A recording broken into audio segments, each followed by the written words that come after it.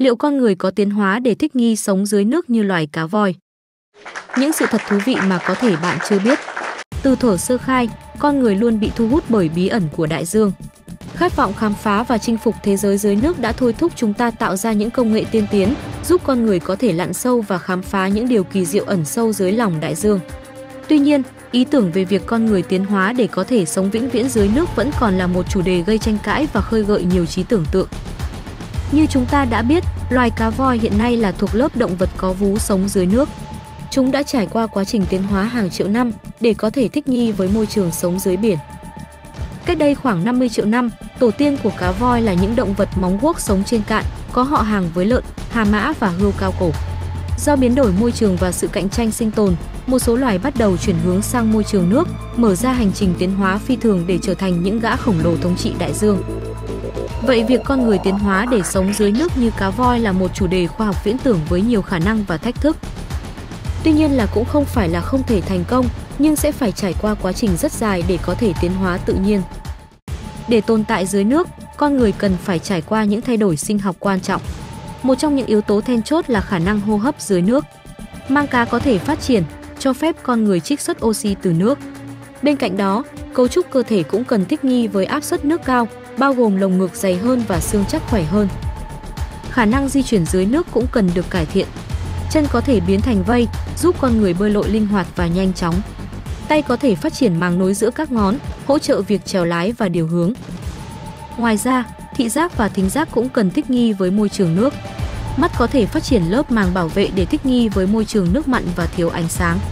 Tai có thể phát triển khả năng nghe siêu âm, giúp con người định vị và giao tiếp trong môi trường nước tối và đục.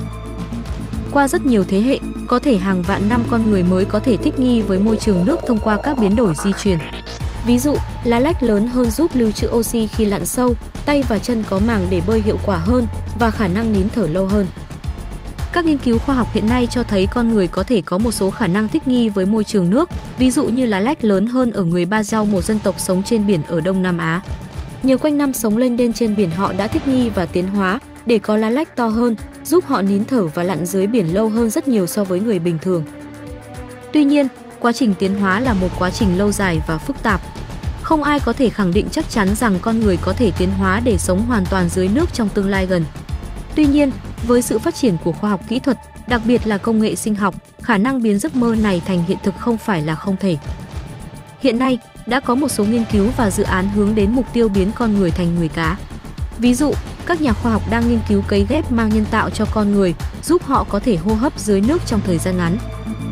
Tuy nhiên, việc biến con người thành người cá cũng tiềm ẩn nhiều nguy cơ. Những thay đổi sinh học có thể dẫn đến những tác động tiêu cực đến sức khỏe và khả năng sinh sản. Hơn nữa, việc con người sống dưới nước có thể gây ảnh hưởng đến hệ sinh thái biển và dẫn đến những xung đột với các loài sinh vật biển khác. Vì vậy, việc con người tiến hóa để sống dưới nước cần được cân nhắc kỹ lưỡng về mặt đạo đức, khoa học và môi trường. Chúng ta cần đảm bảo rằng việc thay đổi này mang lại lợi ích cho con người và không gây ảnh hưởng tiêu cực đến môi trường sống của chúng ta. Mặc dù con người có thể tiến hóa để sống dưới nước trong tương lai xa, nhưng đây là một quá trình đầy thách thức và đòi hỏi nhiều yếu tố. Hiện tại, con người vẫn đang trong giai đoạn đầu của việc khám phá và khai thác môi trường nước và việc tiến hóa hoàn toàn để sống dưới nước vẫn còn là một viễn cảnh xa vời. Việc biến giấc mơ này thành hiện thực cần được thực hiện một cách thận trọng và có trách nhiệm, đảm bảo sự cân bằng giữa lợi ích khoa học và sự an toàn của con người cũng như môi trường xung quanh.